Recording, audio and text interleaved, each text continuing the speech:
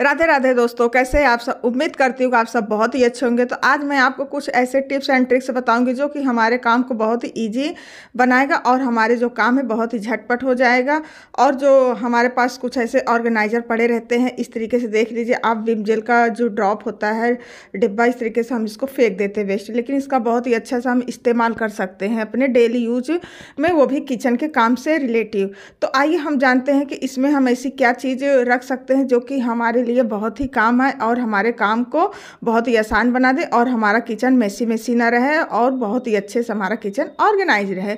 तो इस तरीके से देख लीजिए, आप इस तरीके इसमें जो खाने वाले तेल होते हैं, जैसे सरसों के तेल हो गए, रिफाइंड वगैरह हो गया, पराठे पूड़ी जो बनाते हैं तो इस तरीके से क्या होगा, बहुत ही कम तेल निकलेगा और जो कम तेल खाते उनके लिए तो और ही बढ़िया रहेगा, चाहे बहुत ही कम से कम तेल आप यूज़ कर सकेंगे और हमारे जो पेशेंट होते हैं मतलब तेल ऑयल खाने से परहेज रहता है उनका तो उनके लिए कंटेनर आप ज़रूर यूज़ करिए, बहुत कम से कम तेल उसमें लगेगा। अब हमारा नेक्स्ट टिप है, इस तरीके का जो सोप वगैरह होता है, और हम अच्छे अच्छे मार्केट से साबुनदानी लेकर आते हैं, जो कि अक्सर क्या होता है कि हमारा जो साबुनदानी है, इस तरीके से हम लोगों को जो बेचने वाले शॉपकीपर लोग होते हैं, वो हमको उल्लू बना देते हैं हाँ इसमें साबुन हमारा बर्बाद नहीं होगा मतलब गलेगा नहीं, लेकिन पर ये देखिए, इसमें रखने के बावजूद भी हमारा साबुन गल गया तो इस तरीके का हम लोग बहुत ही पैसा वेस्ट कर देते तो आप क्या करें, कोई भी नॉर्मल साबुनदानी ले लीजिए यहाँ तो मैंने ये मतलब पानी ताकि इसमें झड़े ताकि हमारा साबुन गले ना, लेकिन फिर भी ये कोई काम का नहीं है। तो आप क्या करिए, इसमें आपके पास कोई भी रिबन वगैरह हो, या तो चाहे आप जो मिठाई वगैरह में जो रबड़ लगा के, या फिर रिबन जो होते नहीं प्लास्टिक के, आप उसको भी इसमें यूज़ कर सकते हैं। और अगर वो नहीं है तो आप कोई भी मोटा सा धागा वगैरह जो होता है, इस तरीके से आप दोनों साइड से गट गांठ लगाकर बाँध दीजिए। और इस तरीके से देखिए, हम अपने साबुन को यहाँ पे रख देंगे। तो हमारा जो बारिश में अक्सर क्या होता है, साबुन हमारा धूप तो निकल रही, नहीं रही है तो हमारी साबुन काफ़ी इस तरीके से नीचे से बहुत ही गंदा सा लगता है और जब उसको हम लोग नहाने जाते तो बहुत अजीब सा लगता है। तो अब बढ़ते अपने नेक्स्ट आइडिया की तरफ़। तो इस तरीके के जो ब्रश सबके घर में तो रहते हैं और जो हम डेली यूज़ ब्रश करते हैं, उसमें क्या होता है कभी कभी बहुत ही हमारा वो ब्रश अजीब से स्मेल करने लगता है। और जब स्मेल करता है तो हमें उससे ब्रश करने में मज़ा नहीं आता है और हमारा माइंड फ्रेश नहीं होता है। क्योंकि जब हम ब्रश करते हैं तो हमारा माइंड फ्रेश रहना चाहिए। तो हम उसको क्लीन करने के लिए क्या करेंगे? इस तरीके का हम बाउल में गर्म पानी ले लेंगे और ज़्यादा गर्म ना हो मीडियम में ही रहे और इसमें हम थोड़ा सा जो हमारे, जो डेली यूज़ नमक यूज़ होता है खाने वाला, उसको हम एक चम्मच इसमें डाल देंगे। और जो हमारे ये ब्रश है, इसको हम थोड़ी देर के लिए, पाँच दस मिनट के लिए इसमें हम छोड़ देंगे।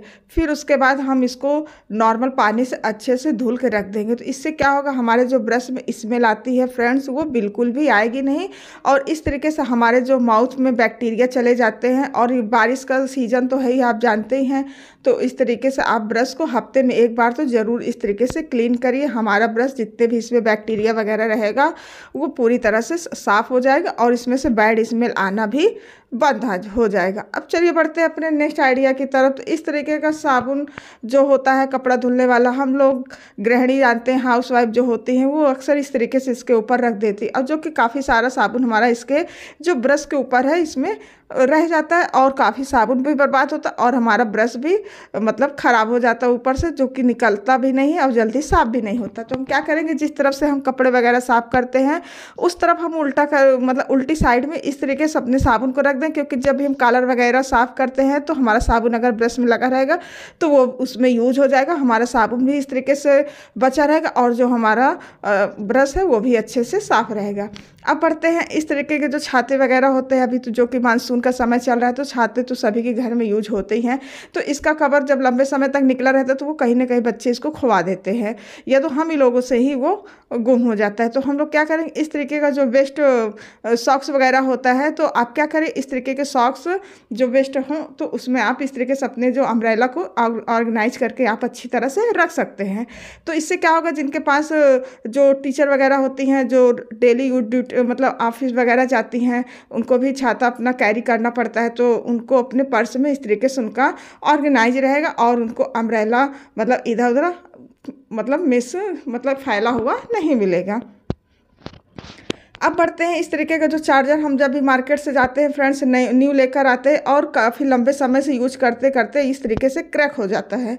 तो जो कि हम क्या करेंगे, इस तरीके का रिबन हम इसमें लगा देंगे। आप कोई भी रिबन लगा सकते हैं पतला सा, क्योंकि हम, अगर हमारा चार्जर इस तरीके से हम इसको सेव कर सकते हैं। अगर इस तरीके सेफ़ नहीं करेंगे तो महँगे महँगे चार्जर जो हमारे मोबाइल के साथ मिलते हैं, वो ख़राब हो जाते और दोबारा इस तरीके के चार्जर मिलते नहीं वो मिलेंगे तो आपको लोकल ही मिलेंगे, जो कि वो लंबे समय तक नहीं चलते हैं। तो इस तरीके का अपने जो ओरिजिनल फ़ोन के चार्जर हो, आप उनको बचाने के लिए इस तरीके का रिबन आप लगा के रखिए दोनों साइड से तो हमारा जो चार्जर है वो अच्छी तरह से बचा रहेगा और इस तरीके से जो क्रैक होता है वो क्रैक नहीं होगा।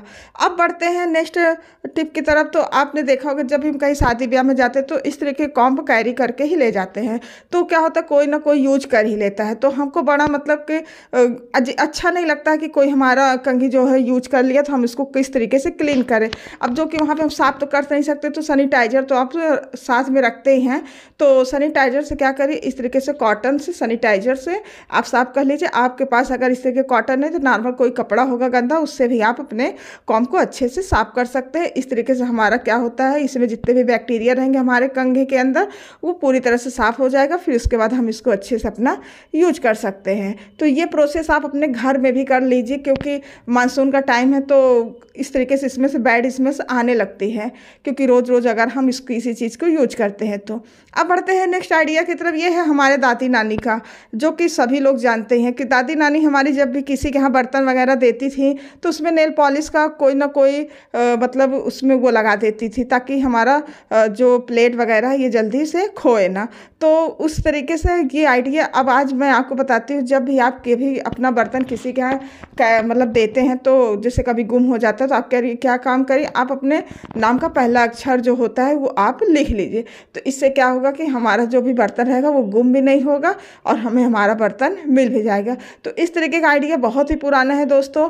आपको भी कहीं ना कहीं याद होगा कि मेरी मम्मी तो अभी भी गाँव में इस तरीके से प्लेट वगैरह जो होता है या थाली वगैरह, कोई भी बर्तन होता है तो उसमें इस तरीके से नेल पॉलिश वगैरह वो चीज़ लगा देती हैं अगर खो जाता है तो तुरंत उनको मिल जाता है। तो ये आइडिया आप ज़रूर कर सकते हैं अगर आप गाँव से मतलब रिलेटेड हैं तो, तो आप वहाँ पर भी जाकर इस तरीके का हैक ज़रूर यूज़ करिएगा। तो आपको अगर पसंद आए तो मेरे चैनल को सब्सक्राइब ज़रूर करिएगा। अब बढ़ते हैं अपने नेक्स्ट आइडिया की तरफ़। तो इस तरीके का सभी के घर में डाइट जो लोग डाइट फॉलो करते हैं तो इस तरीके का बॉक्स सभी के घर में आता ही है। या तो जिनके घर में बच्चे रहते हैं, चोकोस वगैरह तो आता है। अगर नहीं भी आता तो कोई भी सोयाबीन का भी जो पैकेट होता है, इस तरीके का आपको मिलता जुलता कोई भी इस तरीके का डिब्बा ले लीजिए और अपने अकॉर्डिंग इसको मीडियम साइज़ में कट कर लीजिए। तो इस तरीके इसको फेंकने से बढ़िया तो मैंने सोचा क्यों ना क्यों इसका अच्छे से यूज़ किया जाए। आप चाहे तो इसमें अच्छे से कागज़ मतलब अच्छे से आप इसको डेकोरेट भी कर सकते हैं वालपेपर वगैरह लगा के या फिर कोई कागज़ से। और इस तरीके से आप छोटे छोटे जो हमारे सामान होते हैं, इसमें आप अच्छे से ऑर्गेनाइज करके रख सकते हैं। और जिनके घर में छोटे बच्चे हैं तो वो कंघी वगैरह हमेशा खोवाते ही रहते हैं तो इस तरीके से आप इसमें ऑर्गेनाइज करके रखिए। फ्रेंड्स आपको कोई भी सामान कभी गुम नहीं होगा। तो आज के आइडिया मैं उम्मीद करती हूँ कि आपको बहुत ही पसंद आए होंगे। तो अगर पसंद आएगा तो मेरे चैनल को सब्सक्राइब करके ही जाइएगा और कमेंट सेक्शन में बताइएगा कि हमारे आज के जो आइडिया है, आपको कितने पसंद आए। तो चलिए, मैं आपसे फिर से मिलती हूँ दोस्तों। राधे राधे।